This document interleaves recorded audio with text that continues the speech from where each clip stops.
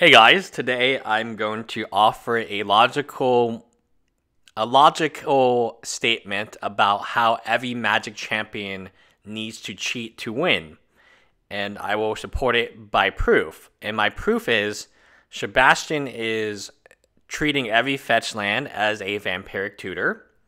He is treating every single wasteland as a Black Lotus plus Stone Rain plus one card every fetch land for Sebastian is Vampiric Tutor plus two life plus one card.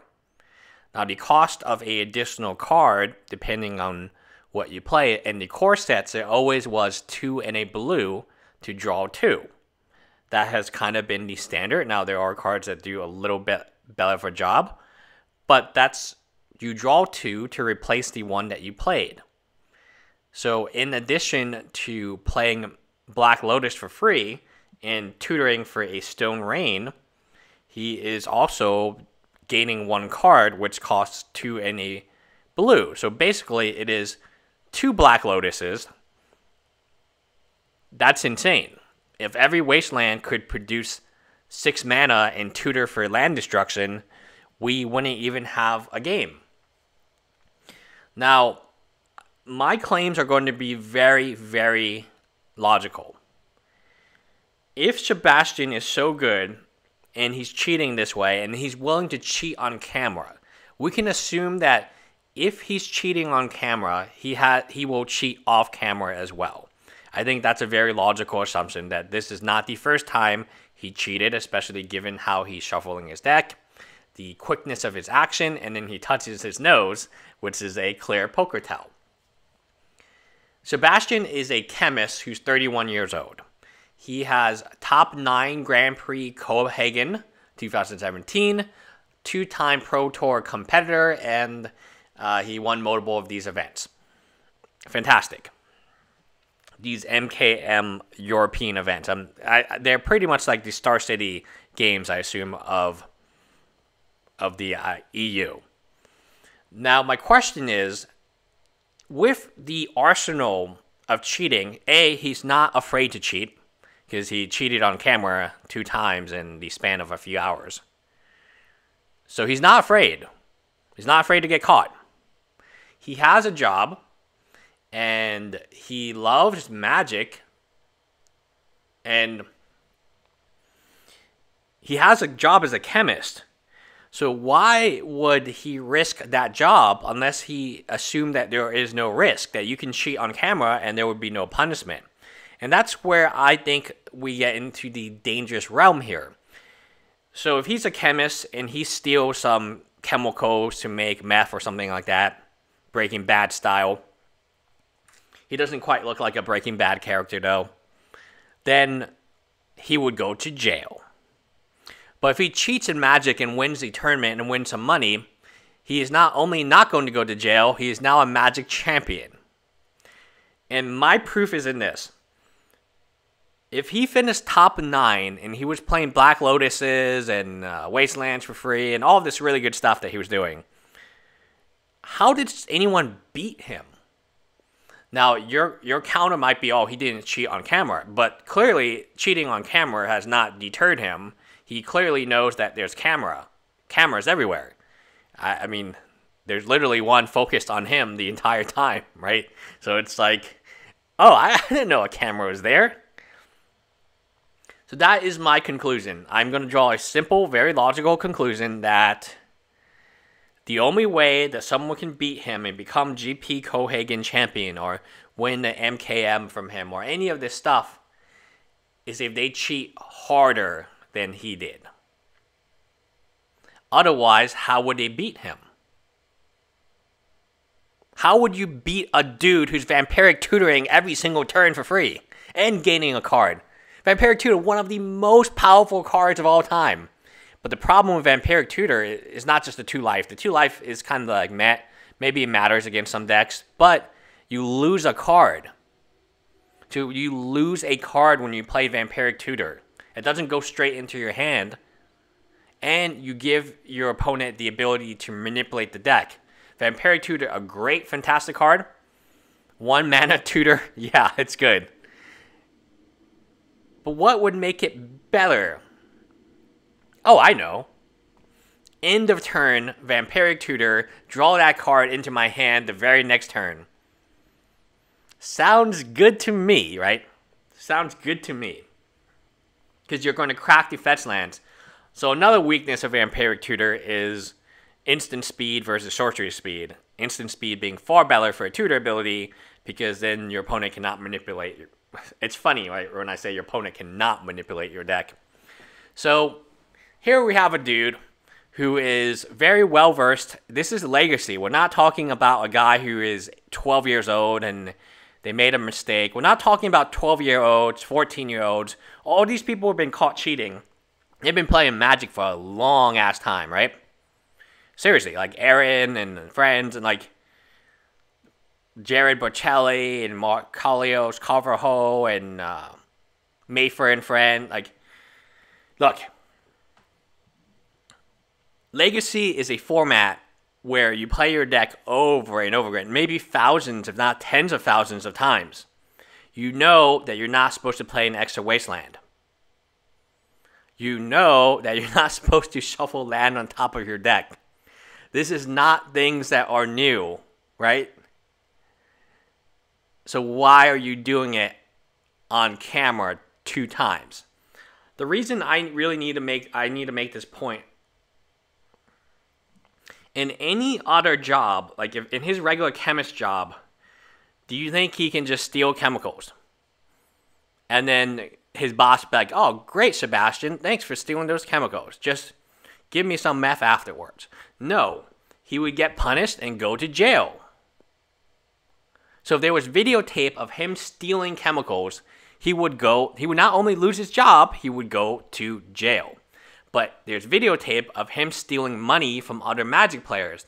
Not only is he not going to go to jail, he is now their MKM champion.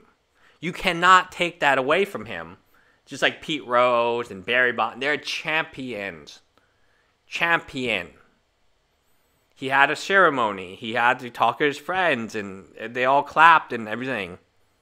That moment has value to it because imagine how awful the second place runner up feels now. Yes, you can make him the first place, but he never got people to clap for him. He never felt like he had won and achieved it. It's different. You can't just retroactively make him the winner because one of the things that Magic, I, and I would imagine he makes quite a bit of money as a chemist in Germany and that he's well off. To him, winning has value winning, if there was no prizes, winning still has value. People are clapping for you, people are saying how awesome you are, and you're taking that value away from someone who deserves it. I will make the real life comparison one more time and highlight a very subtle aspect of it that I think is understated. There's so many things you can do in Magic that are criminal behaviors in real life. And there's so many people in Magic who treat it as their piggy bank and they ask for donations. These things make no sense in real life. In real life, you got to go to work, you got to work your 9 to 5, then you get your paycheck every 2 weeks. In real life, if you steal, you go to jail. In real life, if you cheat, you go to jail. In real life, if you're a Sebastian, you would go to jail. This is stealing from the other Magic players who all paid entrance fees into this prize pool. But because Wizard of the Coast has categorized it as non gambling, like what? God, imagine if he did that at a casino. Jail would be like the safest place for him, right? In Las Vegas. Man, like what would a casino boss do? Or back in the day when the casino was run by the mafia. Still could be run today. I'm not exactly sure. I I finished watching that movie Casino. It's a very good movie. This dude would there are consequences in real life to what he's doing in magic. However, in magic there are no consequences. You get just a little ban for three months and that is it. That's that. We'll see you back, Sebastian, in a month. Come on now, like This is why Magic the Gathering professional play and pro Magic players are a joke. The only way you can beat a dude with triple or quadruple black, black lotus is if you cheat harder than he does. That's the only way you can beat him. Tell me another way. The whole idea that he wouldn't cheat on camera during the finals. Uh, wait a second. He just did that. So you telling trying to tell me that if there was no cameras during a final, he wouldn't be attempting to cheat and getting away? He got away with it. He became a Magic the Gathering MKM champion. Let me repeat that again. He is a Magic champion. You cannot take that away from him. People have clapped. People have um, said, "Oh man, Sebastian, you're awesome." And if they, if he was, his name was Frank, man, he would be like using his fame to get people to you know, go to the bedroom, the hotel room to train them in Magic, right? So he's benefit. Do not tell me he's not benefiting from cheating.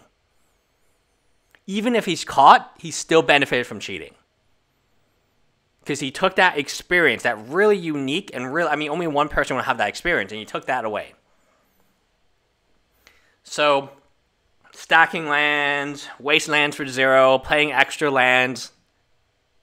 This is your Magic champion, Europe. I hope you're proud. Frankfurt Legacy winner. Oh, wow. And I will go ahead and make the assumption that you cannot beat this guy without cheating. And for many years, since 2016, people have been beating him. The people who were beating him were probably better cheaters because he was cheating this entire time. If he's going to cheat in the finals, knowing that every action he's going to do is being recorded, cheating a sixth round is risky, but maybe they don't have the cameras on you. It could be. I mean, there's so many other players. What? There's like 200, 400 players here. It could be that they have extra cameras and they don't have cameras on you at the same time. I mean, there's two dudes talking and they were already playing, so it's kind of like what what's going on here? Regardless, this is proof, in my opinion, that all Magic the Gathering champions cheat. If you don't cheat, how do you beat this dude? This dude has no shame in cheating. And he won't he won't stop cheating in the finals, right? If you cannot beat Sebastian, if you beat Sebastian, what does that say about you?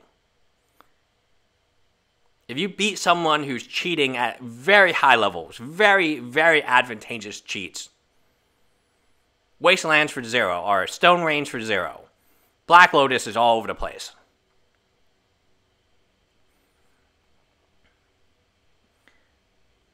You there has to be consequence. There's no consequence for his behavior. And that is why he cheated two times in the same day in the same tournament. If he was caught the first time with his wasteland maneuver, he doesn't get to the finals. But because Magic Gathering loves its cheaters, they let him into the finals. So I don't want to hear that no one caught it, no one knew about it, or his opponent should have known. I don't go to a blanking magic tournament having to figure out if somebody cheated or not. That is not the purpose of a magic tournament. It is assumed that your opponent is fair and playing under the same rules you are.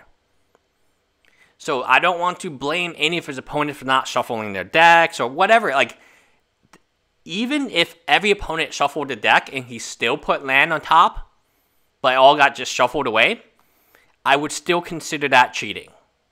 I would 100% consider that cheating. I would 100% want him banned, even if he didn't affect the game state, because his intent was to do so. And it shouldn't be my responsibility to watch this guy. Like, many people, oh, you should always shuffle your opponent's deck. What about if your opponent just slips in a wasteland where you're not looking?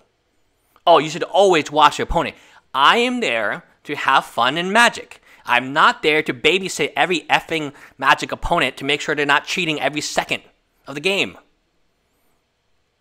I mean, imagine playing against Alex, the dude who's been banned three times for cheating and has cheated hundreds, if not thousands of times.